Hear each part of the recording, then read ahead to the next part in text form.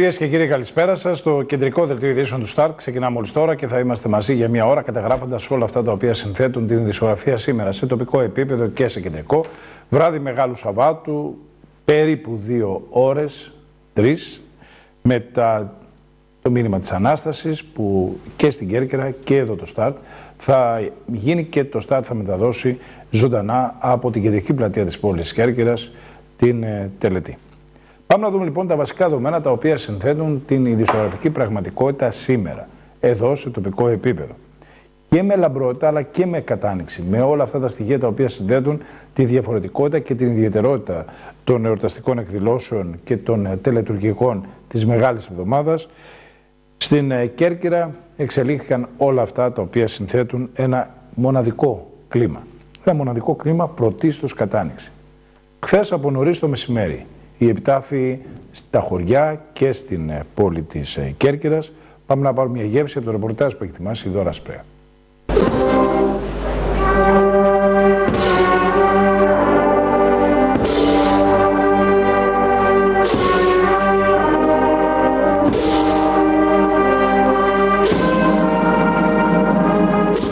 Η ατμόσφαιρα είναι κατανεκτική. Περνούν οι επιτάφοι των εκκλησιών σε κλίμα πένθυμο.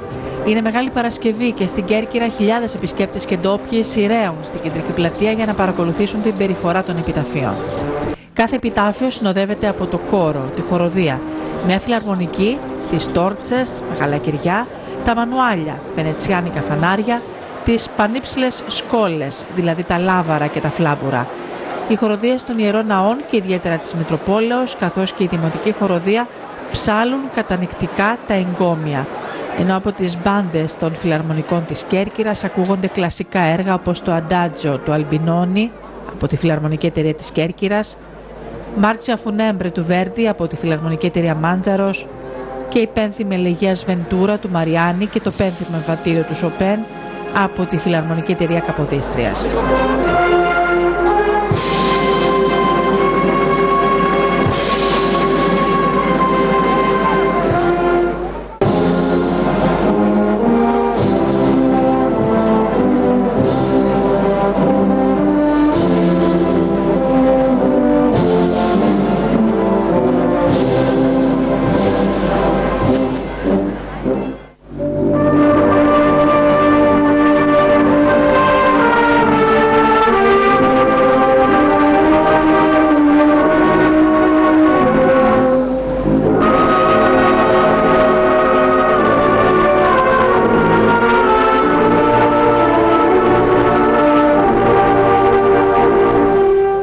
Τους επιταφείους συνοδεύουν επίσης σχολεία, τμήματα προσκόπων και οδηγών και ασπροτημένα κορίτσια που κρατούν καλαθάκια γεμάτα με πολύχρωμα λουλούδια που ρένουν τους πιστούς. Να μας καθιστά όλους ικανούς να βαδίζουμε σε αυτή τη ζωή με ακέραιη ελπίδα έχοντας στραμμένο το βλέμμα μας σε εκείνη τη ζωή, σε εκείνη τη πατρίδα όπου ούτε πέφτος, ούτε θλίψη, ούτε πόνος κλπ. Ο Κύριος μας είναι εκείνος ο οποίος εγκήρυξε την αγάπη και την εφάρμοσε και εξ αυτής της αγάπης την οποία εγκήρυξε ανέβηκε πάνω εις τον σταυρό υποστηρίζοντας αυτό το κήρυγμα του, το κήρυγμα της αγάπης, της δικαιοσύνης και της ειρήνης. Ναι, Ζητάω συγγνώμη. Λοιπόν, ε, κυρίες και κύριοι, σήμερα το πρωί στην ε, πόλη της Έκρας, σε 9 ακριβώς το πρωί, έγινε η περιφορά του επιταφείου του Ιερού Ναού του Αγίου Σπυρίδωνος, αλλά γίνεται και η περιφορά του Ιερούς Λιψάνου του Αγίου Σπυρίδωνος. Πάμε να δούμε περισσότερα στο ρεπορτάζ.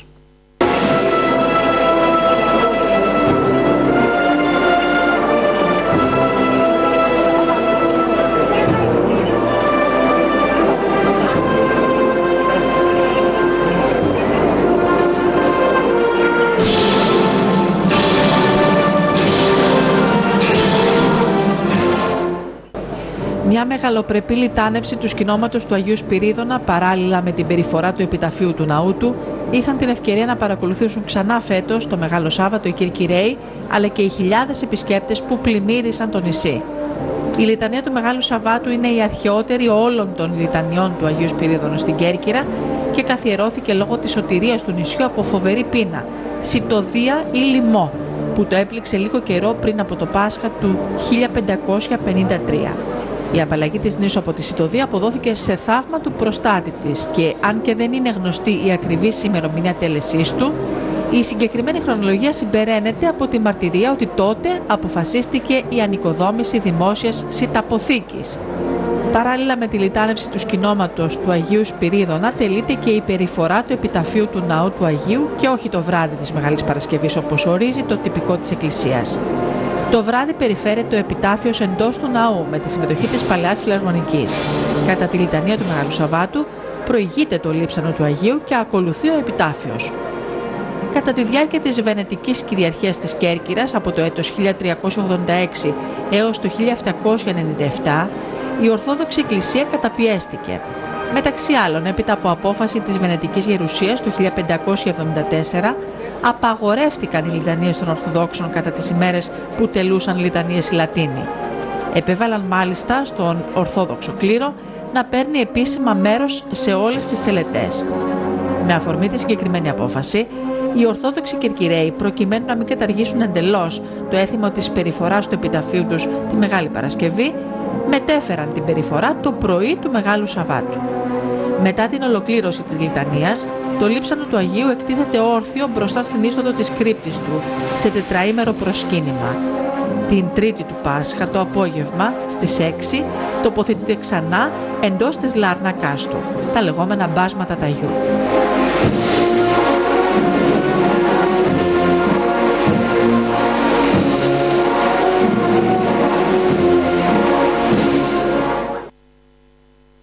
Εάν κυκλοφορούσε στους δρόμους της πόλης Κέρκυρας κατά τη διάρκεια αυτών των τελετουργικών, αισθανόσουν δύο πράγματα. Ήταν ε, κυρίες και κύριοι η κατάνοιξη, αλλά ταυτόχρονα και η λαμπρότητα. Δύο πράγματα τα οποία συνθέτουν ε, το μοναδικό κλίμα αυτών των τελετουργικών της Μεγάλης Εβδομάδας, καθαρά ελληνικών και κυρίως αυτό που έχει υπογραμμίσει πολλές φορές σε ρεπορτάζ το ΣΤΑΡΤ, είναι αυτά τα οποία έχουν επιβιώσει εδώ στην προεδρική άκρη της χώρας μας, όμως είναι βαθύτατα ελληνικά και είναι και βαθύτατα βυζαντινά.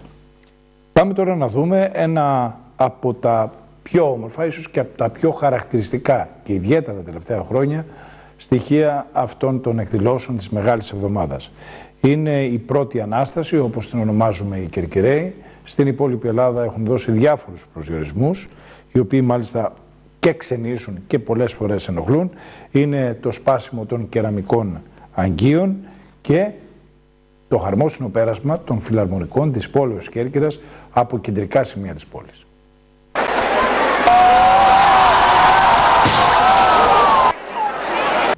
Η ώρα είναι 11 το πρωί του Μεγάλου Σαββάτου. Οι καμπάνες χτυπούν χαρμόσυνα. Η λεγόμενη πρώτη Ανάσταση είναι γεγονός και σε ολόκληρη την Κέρκυρα ακούγεται ο δυνατός κρότος από τους μπότιδες που σπάνε.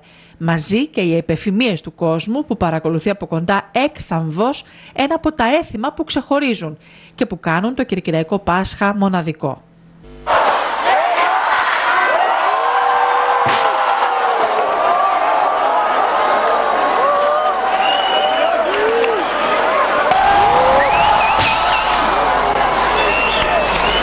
Οι μπότιδες στην κυρκυραϊκή διάλεκτο είναι πύληνα κανάτια γεμάτα νερό, με στενό στόμιο και με δύο χερούλια στο πλάι δεμένα με κόκκινες κορδέλες. Τα μπαλκόνια και τα παράθυρα είναι στολισμένα με ένα κόκκινο πανί. Είναι ένα έθιμο που γιορτάζεται μόνο στην Κέρκυρα και έχει ρίζες από τα ενετικά χρόνια της κατοχής του νησιού. Οι Βενετοί Καθολικοί έσπαγαν τότε τι παλιέ τάμνε την πρωτοχρονιά ως φόρο στον νέο χρόνο, προκειμένου να τους φέρει καινούργια αγαθά στο σπιτικό τους.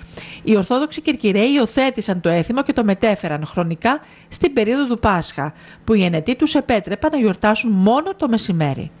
Το σπάσιμο των μπότιδων συμβολίζει την απομάκρυνση της κακοτυχίας, γι' αυτό μέχρι και σήμερα τα κομμάτια από τους σπασμένους μπότιδες συλλέγονται από κυρκυραίους και από επισκέπτες του νησιού προκειμένου να τους φέρουν καλοτυχία και ευμάρεια.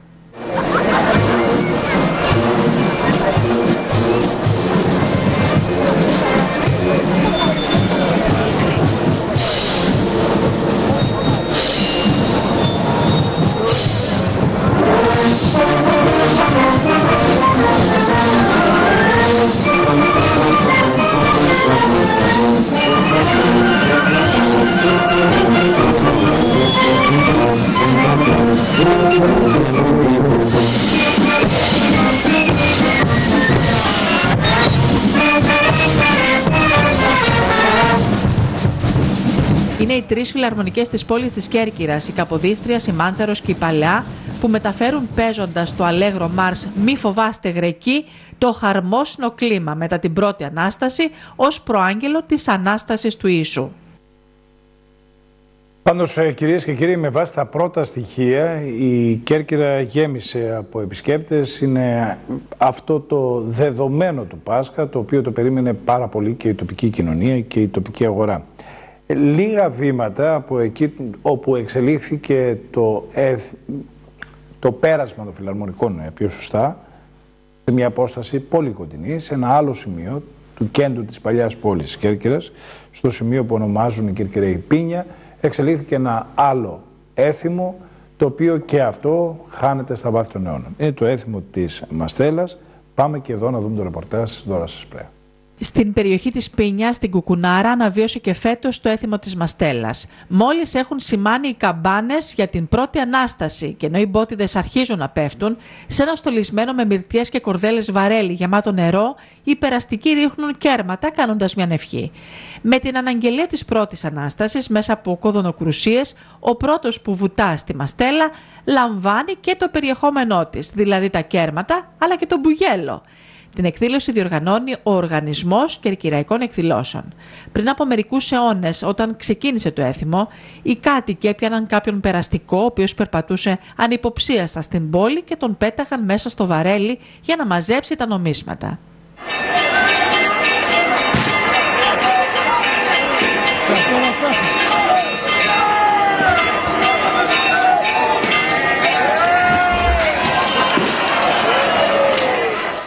Προηγήθηκε στις 6 τα ξημερώματα η αναπαράσταση του σεισμού στο ναό της Παναγίας των Ξένων. Ο σεισμός προκαλείται με θόρυβο και κούνημα όλων των εικόνων και καντιλιών του ναού. Οι πιστοί χτυπούν τα στασίδια προκειμένου να προκαλέσουν τεχνητό σεισμό και να αναπαραστήσουν έτσι τον σεισμό ο οποίος ακολούθησε την Ανάσταση του Ιησού σύμφωνα με τη διήγηση της Αγίας Γραφής.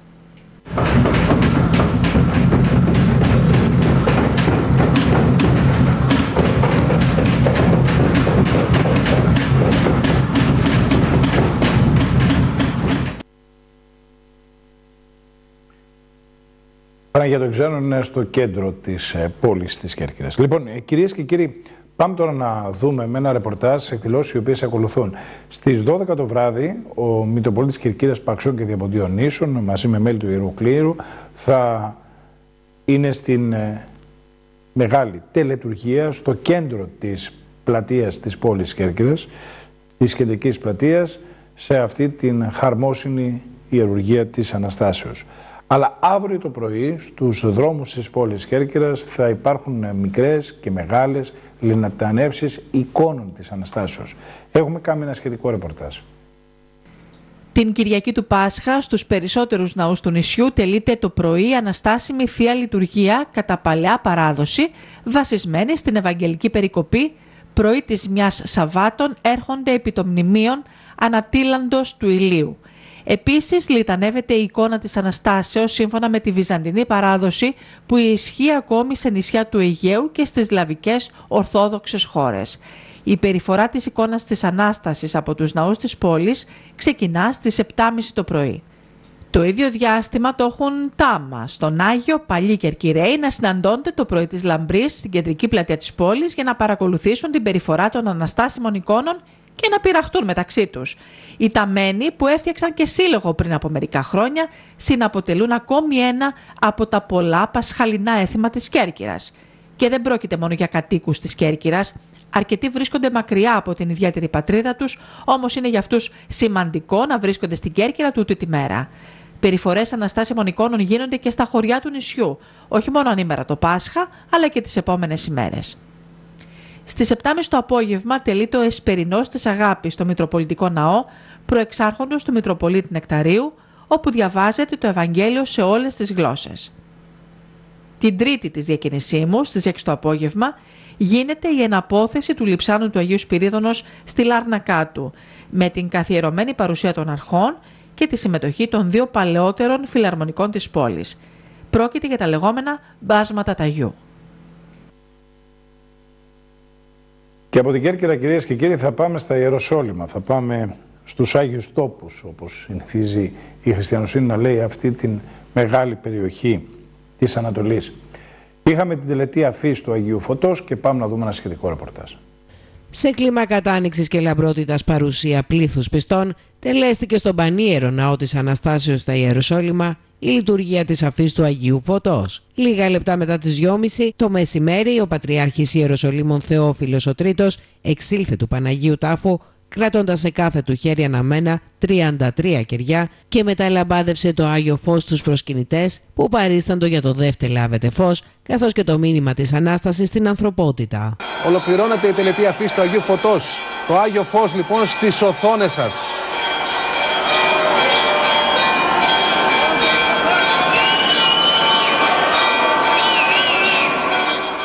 Μετά την αφή ο Πατριάρχης παρέδωσε το ανέσπερο φως στον εκπρόσωπο της ελληνικής πολιτείας, υφυπουργό εξωτερικών Ανδρέα Κατσανιώτη, σε τελετή που πραγματοποιήθηκε στο Ελληνορθόδοξο Πατριαρχείο Ιεροσολύμων, ενώ σε ειδικό φανάρι μετέφερε στην Αθήνα με ειδική πτήση της Αιτζίαν ο έξαρχος του Παναγίου Τάφου. Το αεροσκάφος που μετέφερε το Άγιο Φως έφτασε στο αεροδρόμιο των Αθηνών Ελευθέριος Βενιζέλος στις 6 το απόγευμα και στη συνέχεια προγραμματίστηκε η διανομή του σε όλη την ελληνική επικράτεια.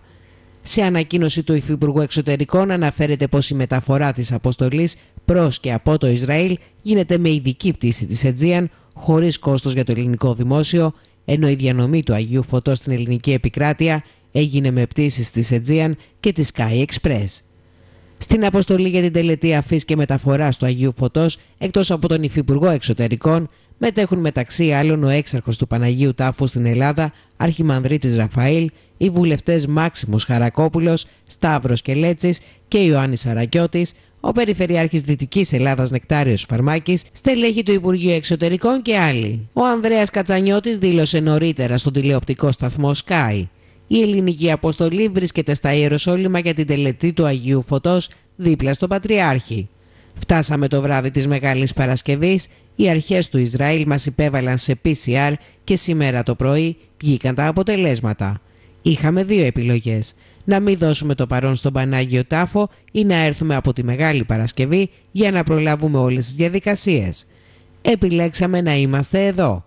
Αυτή την ταραγμένη περίοδο είναι σημαντικό να είμαστε δίπλα στον Πατριάρχη Ιεροσολύμων. Η υποδοχή του Αγίου Φωτός στην πατρίδα θα είναι επίσημη. Λοιπόν, ε, τώρα κυρίες και κύριοι θα σταθούμε σε ευχαριστίες που απίφθινε ο Μητροπολίτης και κύριας Παρξών και Διαποντίων Ίσων, ο κύριος Νεκτάριος, σε τοπικές επιχειρήσεις. Η Εκκλησία της Κέρκυρας προηγούμενες μέρες ε, στήριξε με τρόφιμα, κυρίως οικογένειες οι οποίες έχουν ανάγκη. Πάμε να δούμε το ρεπορτάζ. Ο Μητροπολίτης Νεκτάριος μετέφερε τις εγκάρδιες ευχές του σε όλο τον κόσμο εν ώψη του Πάσχα, σημειώνοντας ότι ο Θεός ποτέ δεν εγκαταλείπει τους ανθρώπους, οι οποίοι τα τελευταία χρόνια βεβαίως έχουν ταλαιπωρηθεί από αλλεπάλληλες κρίσεις. Έτσι και η Μητρόπολη Κερκύρας Παξών και Διαποντιονίσων, με την ουσιαστική συμβολή και οικονομική ενίσχυση τοπικών επιχειρήσεων και φορέων, αλλά και των εθελοντών, ετοίμασε δέματα αγάπης προς εκατοντάδες οικογένειες της Κέρκυρας που έχουν ανάγκη, όπως το πράττει καθ' όλη τη διάρκεια του έτους στο μέτρο του εφικτού. Θέλω να πω χρόνια πολλά ευλογημένα, να γιορτάσουμε όλοι οι άνθρωποι και όλη η χριστιανοσύνη ένα ευλογημένο Πάσχα, λαμπροφόρο Πάσχα και μια Ανάσταση η οποία πρωτίστως θα στηρίζεται στο φως του Χριστού μας το οποίο εξεπήγασε από το ζωοδόχο τάφο και γέμισε την ζωή όλων των ανθρώπων η παρουσία της χάριτος του Θεού. Και δευτερευόντως βεβαίως τα υλικά αγαθά τα οποία είπε ο ίδιος ο Κυριός μας ότι όταν ζητούμε την Βασιλεία του Θεού όλα τα άλλα θα μας τα προσθέσει ο ίδιος ο Κυριός μας στη ζωή μας. Επομένως ποτέ δεν θα μας εγκαταλείψει εάν εμείς δεν τον εγκαταλείψουμε. Μας βοήθησαν και βοηθούν άνθρωποι και εμείς θα ανταποδίδουμε ξανά στους ανθρώπους.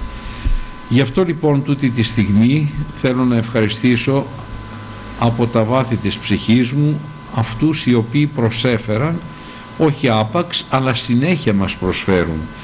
Τώρα όμως για όλα αυτά τα θέματα τα οποία έχουμε ετοιμάσει πάνω από 300 οικογένειες ή και 400 και νότο και, και, και βορρά. Θέλω να ευχαριστήσω τους εθελοντές που στηρίζουν το έργο της Ιεράς Μητροπόλεως εβδομαδιαία που βοηθούν να συγκεντρωθούν και να τακτοποιηθούν τα τρόφιμα, τις ενορίες και τα μοναστήρια μας. Δύο εθελοντές είναι εδώ κοντά μου, να εδώ και οι δυο. Και τα ευχαριστώ γιατί αυτό είναι ένα παράδειγμα και για τους μεγάλους και για τους μικροτέρους. Ε, η πίστης είναι εξακοής. Έτσι λέει το Ιερό Ευαγγέλιο. Η πίστης αναπτύσσεται και μεγαλώνει όσο ακούμε. Και επομένως εσείς που κάνετε αυτήν την διακονία οι άνθρωποι είναι εκείνοι οι οποίοι μπορούν έτσι να βλέπουν και μέσα στα πλαίσια της ελευθερίας και εκείνοι μαζί να συνεργαστούμε για ένα καλό, για το καλό της τοπικής μας κοινωνίας. Καλό Πάσχα, καλή Ανάσταση σε όλους σας. Λοιπόν, ε, τώρα κυρίες και κύριοι, θα δούμε ένα θέμα το οποίο και αυτό έχει ενδιαφέρον και πραγματικά έχει ενδιαφέρον γιατί πρόκειται στην πεσή μας καθημερινότητα για χρήματα, πολλά χρήματα της Ευρωπαϊκής Ένωσης, τα οποία δεν απορροφώνται στην περιφέρεια Ιωνίων Ίσων. Παρά τα κατά καιρούς που έχει πει η κυρία Ρόδη Κράτσα Γκαροπούλου, η Περιφερειάρχης Ιωνίων Ίσων, η περιφέρεια Ιωνίων Ίσων είναι σε πάρα πολύ χαμηλά επίπεδα απορρόφησης πιστώσεων. Σύμφωνα μάλιστα με το ρεπορτάζ, με όχι μόνο επισημάσεις αυτοδιοικητικών στελεχών, αλλά σύμφωνα με το ρεπορτάζ του τύπου, το Υπουργείο Οικονομικών μελετά πολύ σοβαρά να πάρει πίσω χρήματα που είχαν διατεθεί στην περιφέρεια Ιωνίων Ίσων να τα δώσει σε άλλες περιφέρειες για να μην χαθούν αυτές οι ευρωπαϊκές πιστώσεις. Πάντως, ο κύριος Θόδωρος Γαλιατσάτος, επικεφαλής της μείζωνο μειοψηφίας στο Περιφερειακό Συμβούλιο Ιωνίων Ίσων, ήταν εξαιρετικά δεικτικός σε σχετική ανακοίνωση την οποία έβγαλε, την οποία απέφυγε η κυρία Ρόδη Κράτσα Καραπούλου να απαντήσει. Άπραγη η Περιφερειακή Αρχή χωρίς σχέδιο και χωρίς προτεραιότητες, δεκάδες εκατομμυρίων ευρώ χάνονται για τα Ιόνια νησιά από το ΕΣΠΑ 2014-2020, σημειώνει η Ανάσα με ανακοίνωσή της. Στη σχετική ανακοίνωση, μεταξύ άλλων, επισημαίνονται τα εξής. Σύμφωνα με την απάντηση της κυρία Κράτσα Ζαγκαροπούλου σε σχετική ερώτηση της Ανάσα κατά τη διάρκεια της συνεδρίασης του Περιφερειακού Συμβουλίου, η απορρόφηση πόρων από το ΕΣΠΑ 2014-2020 της Περιφέρειας Ιωνίων Νήσων βρίσκεται μόλις στο 67,29% και η περιφέρειά μας κατατάσσεται στην 7η θέση μεταξύ των 13 περιφερειών της χώρας. Στο θέμα αναφέρθηκε ο επικεφαλής της παράταξης Ανάσα για τα Ιωνία νησιά Θεόδωρος Γαλιατσάτος. Δυστυχώς η εικόνα που παρουσιάζει η υλοποίηση του προγράμματος ΕΣΠΑ 2014-2020 για την ε, περιφέρεια Ιωνίων είναι απογοητευτική διότι όπως ε, μας ενημέρωσε η κυρία Περιφερειάρχης στο τελευταίο Περιφερειακό Συμβούλιο σε σχετική μας ερώτηση, η απορρόφηση των πόρων του προγράμματος βρίσκεται αυτή τη στιγμή στο 67 περίπου της 100. Αυτό είναι μείζον ε, ε, ζήτημα, διότι το πρόγραμμα είναι στην τελική του ευθεία. Ε, το 31 του 23 ε, κλείνει οριστικά αυτό σημαίνει ότι με τους ρυθμούς που υπάρχουν αυτά τα χρόνια δεν πρόκειται να απορροφηθεί ε, το σύνολο του προγράμματος. Και όταν μιλάμε για σύνολο του προγράμματος πρέπει να έχουμε υπόψη ότι ήδη έχει απομειωθεί κατά 31 εκατομμύρια ευρώ. Δηλαδή το πρόγραμμα ήταν 232 εκατομμύρια με μια οριζόντια ε, κίνηση που έγινε από την κυβέρνηση της Νέας Δημοκρατίας για τις ανάγκες υποτίθεται του COVID αφαίρεσε από την περιφέρεια Ιωνίων Νήσων χωρίς να αντιδράσει κανένας φυσικά ούτε η κυρία Κράτσα ούτε κανείς άλλος 31 εκατομμύρια ευρώ τα οποία πήγαν στο κρατικό κορβανά. Έτσι λοιπόν το πρόγραμμα είναι αυτή τη στιγμή 201 εκατομμύρια και επ' αυτού του ποσού έχουμε την απορρόφηση στο 69%. Δηλαδή και στο κουτουρεμένο πρόγραμμα έχουμε μια πολύ ε, ανεμική απορρόφηση η οποία μας οδηγεί ε, κατευθείαν την εκτίμηση, η οποία είναι βάσιμη, βασιμότατη, ότι θα χάσουμε δεκάδες εκατομμύρια ευρώ. Πολύτιμα ευρώ για τις ανάγκες της τοπικής κοινωνίας, για τις υποδομές μας, για την ε, πολιτική προστασία. Και πρέπει να πούμε ότι ε, αυτό ε, έχει την εξήγησή του. Εμείς έχουμε προειδοποιήσει και στο παρελθόν. Έχουμε ξαναθέσει το ζήτημα ότι δείτε ε, πώς θα χειριστείτε το θέμα, πώς θα συντονίσετε την ε, διαδικασία ε, συνεργασίας με τους υπόλοιπους φορείς που εκτελούν το πρόγραμμα, γιατί αυτή είναι ευθύνη της Περιφερειακής Αρχής και της ε, ε, Διαχειριστικής Αρχής ε, που υλοποιεί το πρόγραμμα. Ε, δυστυχώς η κυρία Περιφερειάρχης θεώρησε και τότε ότι εμείς ε, κάνουμε αντιπολίτευση. Δεν κάνουμε αντιπολίτευση, την αλήθεια λέμε. Και έχουμε εμπειρία ε, σε αυτά τα θέματα γιατί ε, και το 2014 παραλάβαμε από τον κύριο Σφύρο ένα πολύ ανεμικό πρόγραμμα σε μια πολύ χαμηλή απορρόφηση και με τις κινήσεις που έπρεπε και την ε, συνεργασία όλων των ενδιαφερομένων καταφέραμε να φτάσουμε στο 105%. Αυτή είναι η πραγματικότητα. Δυστυχώς δεν τους ενδιαφέρει, διότι αυτό που τους ενδιαφέρει είναι αυτό που βλέπουμε κάθε μέρα. Τη διαδικασία των απευθείας αναθέσεων στα μεγάλα δημόσια έργα, δείχνουν ότι είναι έκτακτα περιστατικά. Την ε, προσπάθεια που κάνουν ε, να ε, προσλαμβάνουν οι μέτρους μέσα από διαδικασίες που δεν τηρούν κανένα κανονισμό και καμία προϋπόθεση. Τις μεγάλες ε, εξόδους με χιλιάδες, ε, εκατοντάδες χιλιάδες ευρώ στο Ντουμπάι και αλλού. Αυτό είναι προτεραιότητες.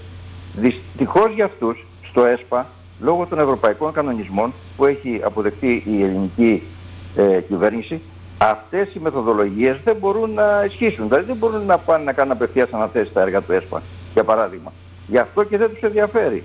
Αυτή είναι η εκτίμησή μας, αυτή λέμε, αυτή εξηγούμε στους ε, πολίτες και περιμένουμε ε, ε, τις δικές τους αντιδράσεις. Έστω και τώρα οφείλουν να σκύψουν πάνω στο πρόγραμμα και να δώσουν τις απαραίτητες βοήθειες στους δικαιούχους σε τηλεφωνική επικοινωνία που είχε το Start με την Περιφερειαρχή Ιωνίων Νήσων, προκειμένου να απαντήσει στα όσα καταλογίζεις στην Περιφέρεια Ιωνίων Νήσων σχετικά με το ΕΣΠΑ ο επικεφαλής της Ανάσα, κ. Θεόδωρος Γαλιατσάτος, η κυρία Κράτσα απάντησε ότι σε αντίθεση με τον κύριο Γαλιατσάτο σέβεται απόλυτα την ιερότητα της ημέρας και τους συμπολίτες της. Ωστόσο, δεσμεύτηκε ότι από την Τρίτη που μας έρχεται πρόκειται να δώσει στον κύριο Γαλιατσάτο μία απάντηση όπως πρέπει, όπως ανέφερε χαρακτηριστικά στο σταθμό μας. Κυρίες και κύριοι, συνεχίζουμε την προσέγγιση των θεμάτων τη σημερινής ειδησιογραφίας. Είμαστε πάντα μαζί, βράδυ Μεγάλου Σαββάτου, εδώ στο κεντρικό δελτίο ειδήσεων του ΣΤΑΡΤ. Και πάμε να δούμε θέματα της κεντρικής ειδησιογραφίας.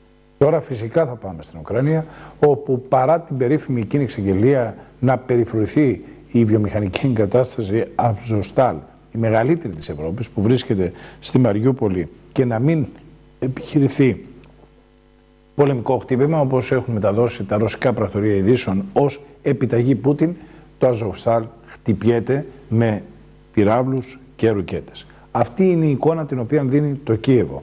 Η γη της Ουκρανίας συνεχίζει να ματώνει. Είχαμε και πυραυλική επίθεση στην Οδυσσό, σε κατοικημένη περιοχή. Οι ρωσικές δυνάμεις άρχισαν εκ νέου τις επιθέσεις εναντίον των Ουκρανικών δυνάμεων στο εργοστάσιο Αζοφστάλη της Μαριούπολης. Πιο συγκεκριμένα άρχισαν εκ νέου τα αεροπορικά πλήγματα και επιχειρούν επίθεση εναντίον του εργοστασίου Χάλιβα της Μαριούπολης Αζοφστάλ, όπου βρίσκονται οι εναπομείνασε Ουκρανικές δυνάμεις στην πόλη, είπε σήμερα ο Ουκρανός Προεδρικός Σύμβουλος ο Λέξη Αρέστοβιτς. Ο εχθρός επιχείρει να καταπνίξει την τελευταία αντίσταση των υπερασπιστών της Μαριούπολης στην περιοχή του Αζοφστάλ, είπε ο Αρέστοβιτς στο Εθνικό Τηλεοπτικό Δίκτυο. Η Ρωσία επιδιώκει να λιμοκτονήσει τους εναπομείναντες υπερασπιστές και πολίτες στο εργοστάσιο Χάλιβα Αζοφστάλ της Μαριούπολης και είναι απίθανο να επιτρέψει στους παγιδευμένους πολίτες να φύγουν, εκτίμησε με τη σειρά του το Ινστιτούτο για τη Μελέτη του Πολέμου στην τελευταία του ανάλυση της σύγκρουσης. Οι βομβαρδισμοί της εγκατάστασης, όπου πιστεύετε ότι έχουν καταφύγει εκατοντάδες άμαχοι μαζί με τους τελευταίους εναπομείναντες Ουκρανούς μαχητές της πόλης, συνεχίστηκαν. Ο Ουκρανός πρόεδρος Βολοντίμιρ Ζελένσκι προειδοποίησε ότι η εισβολή της Ρωσίας στη χώρα του είναι μόνο η αρχή και ότι η Μόσχα μπορεί να επιδιώξει να καταλάβει και άλλες χώρες, αφού ένας Ρώσος στρατηγός δήλωσε ότι επιθυμεί τον πλήρη έλεγχο της Νότιας Ουκρανίας. Όλα αυτά την ώρα που η Ρωσία κατέλαβε διάφορες περιοχές στον Ντομπά. Όλα τα έθνη που όπως και εμείς πιστεύουν στη νίκη της ζωής επί του θανάτου πρέπει να πολεμήσουν μαζί μας. Πρέπει να μας βοηθήσουν γιατί είμαστε οι πρώτοι στη σειρά. Και ποιος θα είναι ο επόμενος, δήλωσε ο Ζελένσκι σε βιντεοσκοπημένη ομιλία του αργά το βράδυ της Παρασκευής. Τα σχόλια του έρχονται μετά τη δήλωση του Ρουστάμ Ινεκάγεφ, του εκτελούντο χρέη διοικητή της κεντρικής στρατιωτικής περιφέρειας ότι στόχος της νέας επίθεσης της Ρωσίας είναι να καταλάβει τον έλεγχο της Νότιας Ουκρανίας και να σχηματίσει μια χερσαία γέφυρα προς την Κρυμαία, υποδεικνύοντας ότι η Ρωσία σχεδιάζει μια μόνιμη κατοχή των Ουκρανικών εδαφών που κατέλαβε στον πόλεμο. Ο Μινεκάγεφ δήλωσε επίσης στα μέλη ενός φόρουμ της αμυντικής βιομηχανίας την Παρασκευή ότι ο έλεγχος της Νότιας Ουκρανίας θα δώσει στη Ρωσία πρόσβαση στην υπερδριστερία, μια φιλορωσική αποσχιστήσα περιοχή της Μολδαβίας, υποδεικνύοντας ότι η Ρωσία μπορεί να επιτεθεί στην πόλη λιμάνι της Οδυσσού ή να ξεκινήσει οικονομικό αποκλεισμό της περιοχής. Τα σχόλια έρχονται σε άμεση αντίθεση με τους προηγούμενους ισχυρισμούς του Βλαντίμιρ Πούτιν ότι η Ρωσία δεν σχεδίαζε να καταλάβει μόνιμα ουκρανικές πόλεις και υποδηλώνουν ότι το Κρεμλίνο αλλάζει ρότα μετά την αποτυχημένη επίθεσή του προς το Κίεβο, η οποία φάνηκε να επιδιώκει την αλλαγή καθεστώτος. Οι ρωσικές δυνάμεις και οι δυνάμεις της DNR, Λαϊκή Δημοκρατία του Ντονέτσκ, συνέχισαν να εδραιώνουν τον έλεγχό τους σε κτίρια κλειδιά στη Μαριούπολη και πιθανόν να θέτουν τις προποθέσει για τη δημιουργία μιας κυβέρνησης κατοχής. Αρκετά βίντεο κυκλοφόρησαν στα μέσα κοινωνικής δικτύωσης με απροσδιόριστες ρωσικές δυνάμεις να αναχωρούν από τη Μαριούπολη, αλλά το ISW δεν μπορεί να επιβεβαιώσει αυτή τη στιγμή ποιες ρωσικές δυνάμεις έχουν αναχωρήσει από την πόλη ή τον πιθανό προορισμό τους. Από την πλευρά του, ο Ουκρανός Πρωθυπουργός Ντένι Μίχαλ δήλωσε χθες Παρασκευή, βέβαιος ότι η χώρα του θα νικήσει τον πόλεμο με τη Ρωσία πολύ σύντομα, αντιδρώντας την προειδοποίηση του Πρωθυπουργού της Βρετανίας Μπόρις Τζόνσον πως παραμένει πιθανό η Ρωσία να επικρατήσει στη σύραξη που ξέσπασε την 24η Φεβρουαρίου. Είμαστε απόλυτα σίγουροι ότι η Ουκρανία θα νικήσει σε αυτόν τον πόλεμο και η νίκη θα έρθει πολύ σύντομα, είπε ο κύριος Μίχαλ στο τηλεοπτικό δίκτυο CNN, ερωτηθή για την προειδοποίηση του κυρίου Τζόνσον. Οι Ουκρανικές αρχές ελπίζουν ότι θα μπορέσει να ανοίξει διάδρομος εντός της ημέρας για να επιτραπεί η απομάκρυση αμάχων από τη Μαριούπολη. Υπάρχει μια πιθανότητα να μπορέσουμε να ανοίξουμε ανθρωπιστικό διάδρομο από τη Μαριούπολη, ανέφερε μέσω Facebook η αντιπρόεδρος της Ουκρανικής κυβέρνησης Ειρήνα Βέρετσουκ αργά το βράδυ Παρασκευή. Η κυρία Βέρετσουκ κατανόμασε εμπορικό κέντρο σε βόρειο τομέα της πόλης που βρίσκεται πάνω σε έναν από τους δρόμους διαφυγής ως το σημείο συγκέντρωσης των αμάχων σήμερα το πρωί. Αναγνώρισε πως αρκετές προσπάθειες να διανοιχθούν ανθρωπιστικοί διάδρομοι απέτυχαν και βεβαίωσε πως κατανοεί πόσο δύσκολη είναι η κατάσταση για τους αμάχους στη Μαριούπολη. Όπως και εσείς, έτσι και εγώ πρέπει να προσπαθήσουμε όσες φορές χρειαστεί, ώσπου να έχουμε αποτέλεσμα, συμπλήρωσε η κυρία Βέρετσουκ. Κυρίες και κύριοι, αύριο στην, για την Ευρώπη έχουμε μια κρίσιμη εκλογική αναμέτρηση. Προφανώς είναι μια κρίσιμη εκλογική αναμέτρηση για την ίδια τη Γαλλία. Είναι ο δεύτερος γύρο των γαλλικών προεδρικών εκλογών. Είναι η μονομαχία, θα λέει κανεί, του Μανουέλ Μακρόν και της ε, Μαρή Λεπέν. Τα στοιχεία τα οποία δίνει ο διεθνής τύπος αυτή την ώρα δείχνουν ε, τουλάχιστον σε επίπεδο δημοσκοπήσεων ο Μανουέλ Μακρόν να εξασφαλίζει ένα άνετο προβάδισμα. Και αυτός και το επιτελείο του, αλλά και το επιτελείο της Λεπέν λένε ότι τίποτε δεν έχει κρυθεί. Βρίσκονται σε απόλυτη εγρήγορση και όπως μεταδίδουν γαλλικά πρακτορία ειδήσεων, γαλλικά ειδησιογραφικά μέσα πιο σωστά, φαίνεται να υπάρχει μια δύσκολη μάχη, ιδιαίτερα στην περιφέρεια της Γαλλίας. Πάμε να δούμε περισσότερα. Λιγότερες από 24 ώρες απομένουν για να ανοίξουν οι κάλπες όπου Μαγκρόν και Λεπέν θα κονταροχτυπηθούν για την Προεδρία της Γαλλίας.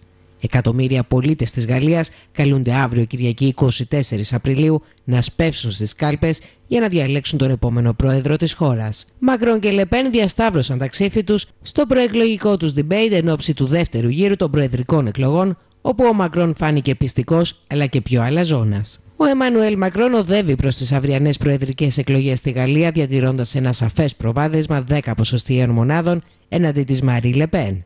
Λίγες ώρες πριν από τις κάλπες της Κυριακής, το Poll of Polls του Ευρωπαϊκού Πολίτικο τοποθετεί τον Μεν Μακρόν στο 55%, τη Δε Λεπέν στο 45%, αποτυπώνοντας την τάση όπου σε εκείνη έχει διαμορφωθεί πια έπειτα από τον πρώτο γύρο των προεδρικών εκλογών της 10η Απριλίου. Την ίδια ώρα, η στιγμιαία δημοσκόπηση Sondage Flash του Ινστιτούτου ΕΛΑΜ για τον τηλεοπτικό σταθμό BF-MTV σε αντιπροσωπευτικό δείγμα 650 τηλεθεατών 18 ετών και άνω έδειξε πως το 59% έγκρινε ότι ο Μακρόν ήταν πιο πιστικός από την κυρία Λεπέν. Το 2017 ανάλογη έρευνα είχε αναδείξει νικητή της τηλεοπτικής αναμέτρησης των δύο αντιπάλων, επίσης τον κύριο Μακρόν, πολύ πιο καθαρά, με ποσοστό 63%. Σύμφωνα με τις τελευταίες δημοσκοπήσεις εν ώψη των εκλογών της 24η Απριλίου, ο Μακρόν οδεύει να εξασφαλίσει την επανεκλογή του, εξασφαλίζοντας γύρω στο 55,5% των ψήφων, ενώ το 2017 είχε επικρατήσει της Μαρή Λεπέν, λαμβάνοντας το 66,1%. Ο Γάλλος πρόεδρος Εμμανουέλ Μακρόν εμφανίζεται να συγκεντρώνει το 57% των ψήφων στο δεύτερο γύρο των προεδρικών εκλογών που θα πραγματοποιηθεί την Κυριακή και να επικρατεί της ακροδεξιάς αντιπάλου του Μαρή Λεπέν, σύμφωνα με τη δημοσκόπηση των Opinion Way και Kia Partners που διενεργήθηκε για λεγοριασμό της Λεϊκό και του Radio Classic. Σύμφωνα με τη δημοσκόπηση που διενεργήθηκε σε δείγμα 2.329 ερωτηθέντων κατά το διάστημα 20 με 22 Απριλίου, το ποσοστό συμμετοχής στον δεύτερο γύρο αναμένεται να φτάσει το 72%. Το περιθώριο σφάλματος της δημοσκόπησης ανέρχεται σε συν πλην 0,9 έως 2 ποσοστιαίες μονάδες. Τώρα κυρίες και κύριοι στο ελληνικό, στο δικό μας εσωτερικό πολιτικό σκηνικό γίνεται μια πολύ μεγάλη συζήτηση για τον τρόπο με τον οποίο η κυβέρνηση θα επιχειρήσει να διαχειριστεί αυτά τα οποία φαίνεται και προκύπτουν σε μια ανάλυση των δημοσκοπικών ευρημάτων για μια ανησυχία της κοινή νόμης σχετικά με την δύσκολη υπόθεση των συνεχών ανατιμήσεων, αλλά ταυτόχρονα και ένα εξελισσόμενο κλίμα δυσαρέσκειας που υπάρχει για την κυβέρνηση του Κυριάκου Μητσοτάκη. Και φαίνεται αυτό μέσα σε ένα διάστημα 7 μηνών, όπου τα δημοσκοπικά ευρήματα έχουν μειώσει τη διαφορά ανάμεσα στους δύο πρωταγωνιστές αυτής της εσωτερικής πολιτικής μάχης με ένα εντυπωσιακό τρόπο. Επαναφέρει λοιπόν ο Αθηναϊκός τύπος πολλά σενάρια, ακόμη και για πρόορε εκλογές. Έχουμε συνοψίσει τα βασικά δεδομένα στο ρεπορτάζ το οποίο ακολουθεί. Με άνοιγμα στο μεσαίο χώρο και παραμερίζοντας το παλαιό δίλημα δεξιά ή αριστερά, επιδιώκει η κυβέρνηση να αυξήσει τα ποσοστά της και να περιορίσει τις διαρροές ψηφοφόρων. Το νέο δίλημα είναι η πρόοδος, η οπισθοδρόμηση και με ανάλογη στρατηγική θα πορευθεί η Νέα Δημοκρατία προς τις επόμενες εκλογές. Στο κυβερνητικό στρατόπεδο αναγνωρίζουν πως η ανωδική πορεία των τιμών έχει πέρα από τον οικονομικό και πολιτικό αντίκτυπο. Ωστόσο, το επιχείρημα που προβάλλεται είναι πως πρόκειται για μια εξωγενή κρίση, ενώ αυτό που υπογραμμίζεται είναι πως δεν θα μείνουν απροστάτευτα τα νοικοκυριά. Παράλληλα, επιχειρείται να καλλιεργηθεί μια εικόνα αισιοδοξίας για την επόμενη ημέρα, με την κυβέρνηση να ανοίγει το πουγγί και να εξαγγέλει στοχευμένα μέτρα για μεγάλες ομάδες, όπως για παράδειγμα οι μισθωτοί. Η δεύτερη αύξηση του κατώτατου μισθού μπαίνει σε εφαρμογή την 1η Μαΐου, ενώ χτίζεται ένα θετικό αφήγημα για το 2023 με υποσχέσεις για αύξηση συντάξεων και κατάργηση της εισφοράς αλληλεγγύης. Ωστόσο, στο κυβερνητικό στρατόπεδο αναγνωρίζουν πως τα δημοσιονομικά περιθώρια είναι πεπερασμένα και επομένως δεν είναι δυνατόν η στρατηγική των επόμενων εκλογών να είναι αποκλειστικά εστιασμένη στην οικονομία. Στο πλαίσιο αυτό θέλουν να κρατήσουν στο προσκήνιο τη λεγόμενη μεταρρυθμιστική ατζέντα, προχωρώντας παράλληλα και σε πολιτικές συγκρίσεις. Παρά το ότι το αντισύριζα μέτωπο υποχωρεί, στη Νέα Δημοκρατία εκτιμούν πως το δίλημα σταθερότητα ή περιπέτειε μπορεί ακόμα να πείσει τον λεγόμενο μεσαίο χώρο.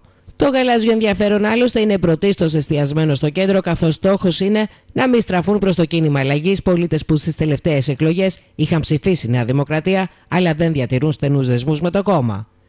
Μια εικόνα των διλημάτων που θα μπουν στο δρόμο για τις επόμενες κάλπες έδωσε ο Κυριάκος Μητσοτάκης μιλώντας πρόσφατα σε προσυνέδριο της Νέας Δημοκρατίας.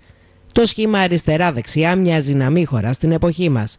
Ειδικά στα νέα παιδιά λέει πολύ λίγα πράγματα. Δίνει το σχήμα αυτό τη θέση του στο δίλημα πρόδοση ή οπισθοδρόμηση, καθήλωση ή δημιουργία, αδράνεια ή αποτέλεσμα, σημείωσε χαρακτηριστικά. Για να προσθέσει πάντως πως οι διαφορές μας δεν καταργήθηκαν.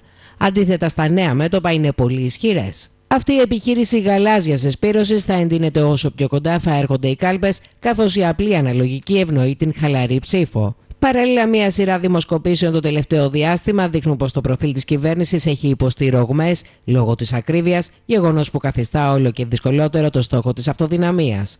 Υπενθυμίζεται πως με βάση τον εκλογικό νόμο που θα ισχύσει από τη μεθεπόμενη αναμέτρηση, το πρώτο κόμμα θα πρέπει να συγκεντρώσει ένα ποσοστό κοντά στο 37,5% με 38% για να φτάσει τις 151 έδρες, ανάλογα βέβαια και με το ποσοστό των κομμάτων που θα μείνουν εκτός Βουλής. Σε μια μακρά προεκλογική περίοδο βρίσκεται άτυπος η χώρα, κάτι που πιστοποιείται και από τις διεργασίες που γίνονται στο εσωτερικό των κομμάτων. Το γαλάζιο συνέδριο θα πραγματοποιηθεί από τις 6 έως τις 8 Μαΐου, ενώ συνέδριο πραγματοποίησε ήδη και ο ΣΥΡΙΖΑ που προχωρά σε εσωκομματικές κάλπες στις 15 του επόμενου μήνα και ετοιμάζεται να κάνει και το κίνημα αλλαγής από τις 20 έως τις 22 Μαΐου. Ο Πρωθυπουργός έχει μιλήσει για κάλπες στο τέλος της τετραετίας, ωστόσο στην αντιπολίτευση δεν αποκλείουν το ενδεχόμενο ενός εκλογικού ευνηδιασμού. Άλλωστε υπάρχουν και γαλάζιες φωνές που τάσσονται υπέρ μιας ταχύτερης προσφυγής στις κάλπες, καθώς όπως φαίνεται οι υψηλές τιμές στην ενέργεια ήρθαν για να μείνουν. Θα τα δούμε πάντως, ε, κυρίες και κύριοι, αμέσως μετά την ανάσταση, όλα αυτά τα οποία με ενδιαφέρον ε, τα είχαμε συμπεριλάβει στο ρεπορτάζ το οποίο προηγήθηκε. Τώρα πάμε σε κάτι το οποίο φαίνεται στην υπόθεση πανδημίας να έχει μια περίεργη εκδοχή, συζήτηση. Φαίνεται να υπάρχει μια ανησυχία και σε κορυφαίους επιστήμονες της χώρας μας, όπως και του εξωτερικού, σχετικά με τα περιστατικά υπατήτηδας σε νέα παιδιά. Αναρωτούνται κάποιοι αν συνδέεται αυτό το σε ευρωπαϊκό επίπεδο πια ζητούμενο και σε εγρήγορση μάλιστα ο Παγκόσμιος Οργανισμός Υγείας ή έχει να κάνει με κάτι διαφορετικό. Έχουμε μια δημόσια τοποθέτηση επί του όλου ζητήματος από έναν σημαντικό Έλληνα επιστήμονα, του καθηγητή Τζανάκη του Πανεπιστημίου της Κρήτης. Για την ασυνήθιστη αύξηση κρούσματων οξίας υπατήτηδας σε παιδιά ηλικίας κυρίως από 2 έως 5 ετών, αναφέρθηκε ο καθηγητής πνευμονολογίας του Πανεπιστημίου Κρήτης Νίκος Τζανάκης. Μιλώντας στο Skype είπε ότι υπάρχουν διάφορες εικασίες σχετικά με το τι ακριβώς συμβαίνει, ωστόσο πρέπει να περιμένουμε προκειμένου να εξακριβωθεί η αιτία αυτής της έξαρσης της ασθένειας, αν και όπως φαίνεται οφείλεται σε έναν αδενοϊό, ο οποίος μέχρι πρώτη προκαλούσε ένα κοινό κρυολόγημα. Έχει γίνει ενδελεχής έλεγχος σε 13 παιδιά στη Σκωτία. Τα τρία από αυτά αποδείχτηκε ότι νοσούν με κορονοϊό, τα πέντε ήταν αρνητικά, τα δύο φαίνεται ότι έπασχαν πριν από μερικούς μήνες από κορονοϊό. Στα 11 που έγιναν ειδικές εξετάσεις για αδενοϊό, τα 5 ήταν θετικά. Ενδεχομένως αυτός ο αδενοϊός, που στο παρελθόν δεν προκαλούσε υπατήτηδα, φαίνεται να είναι ο ένοχος, δήλωσε χαρακτηριστικά. Ερωτηθεί αν υπάρχει συσχέτιση της υπατήτηδας με τον κορονοϊό, ο κ. Τζανάκης εξήγησε ότι υπάρχουν εικασίες ότι η καραντίνα τοποθέτησε τα παιδιά σε μια γυάλα με συνέπεια το νοσοποιητικό τους να μην αναπτυχθεί καλά και ο αδενοϊός να βρει έδαφος να δράσει κατά αυτόν τον τρόπο. Το δεύτερο είναι ότι εμέσως ο κορονοϊός σε κάποια παιδιά τροποποίησε το νοσοποιητικό τους με τέτοιο τρόπο ώστε μια επόμενη λίμωξη από έναν κοινό ιό να προκαλεί αυτά τα αποτελέσματα, πρόσθεσε. Αναφερόμενος στα συμπτώματα που εμφανίζουν τα παιδιά, είπε ότι έχουν κόποση, μπορεί να εκδηλώσουν πυρετό, να έχουν ikτερική χρειά στα μάτια αλλά και στο δέρμα τους, τα ούρα τους να είναι έντονα χρωματισμένα και τα κόπρανά τους αποχρωματισμένα. Επίσης, μπορεί να εμφανίσουν συμπτώματα γαστρεντερικού όπως εμετούς, διάρειε και πόνος στην κοιλιά, υπογράμμισε. Σε ό,τι αφορά στις ηλικίες οι οποίες πλήττονται, ο καθηγητής σημείωσε ότι είναι έως 16 ετών, αλλά το 80 με 90% των περιπτώσεων είναι από 2 έως 5 ετών. Ο ίδιος εμφανίστηκε καθησυχαστικός, σημειώνοντας ότι οι περισσότερες περιπτώσεις αυτοϊώνται στο σπίτι, ελάχιστες έχουν καταλήξει σε νοσοκομεία και 3-4 περιπτώσεις ήταν τόσο μεγάλη η υπατική ανεπάρκεια που χρειάστηκαν μεταμόσχευση ύπατος. Δεν πρέπει να πανικοβαλόμαστε και πρέπει να τηρούμε τα μέτρα υγιεινής. Θα πρέπει να περιμένουμε να δούμε ποια είναι η αιτία, πώς μπορούμε να προφυλαχτούμε και τι έκταση θα έχει αυτό το φαινόμενο, κατέληξε. Κυρίες και κύριοι, αυτά ήταν τα βασικά δεδομένα της σημερινής ειδησιογραφίας, όπως την είδαμε, την καταγράψαμε, την προσεγγίσαμε για μία ακόμη φορά στην ε, ροή του ενημερωτικού προγράμματος ε, του START. Να μην συντονισμένοι στην τηλεοπτική μας συχνότητα, να σας πω ότι τα συνεργεία εξωτερικών μεταδόσεων του ΣΤΑΡΤ εργάζονται αυτήν την ώρα για την καλύτερη δυνατή μετάδοση της ε, αναστάσιμης λειτουργίας από το κέντρο της πόλης Κέρκυρας, από το πάρκο της Πάνω Πλατείας, όπως προσδιορίζουμε εμείς οι Κερκυραίοι το συγκεκριμένο σημείο. Θα χωροστατήσει φυσικά ο Μητροπολίτης Κερκύρα Παξών και Διαποντίων Νήσων και όπως πάντα οι τοπικές αρχές θα δώσουν το παρόν. Κυρίες και κύριοι, να έχετε ένα ευχάριστο βράδυ. Γεια σας και χρόνια πολλά.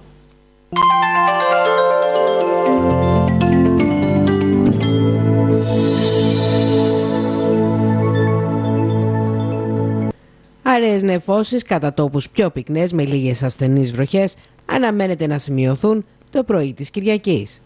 Το μεσημέρι αναμένεται να ενταθεί η βροχόπτωση ενώ δεν αποκλείονται και τοπικές καταιγίδες. Το απόγευμα τα φαινόμενα θα εξασθενήσουν ενώ από τις βραδινές ώρες οι νεφώσεις θα παραμείνουν αυξημένες με τοπικές βροχές. Οι άνεμοι θα πνέουν βόρειο-βορειοδυτική 3 με 5 και στα νότια τοπικά 6 μποφόρ. Η θερμοκρασία θα κοιμανθεί από 11 έως 19 βαθμούς Κελσίου.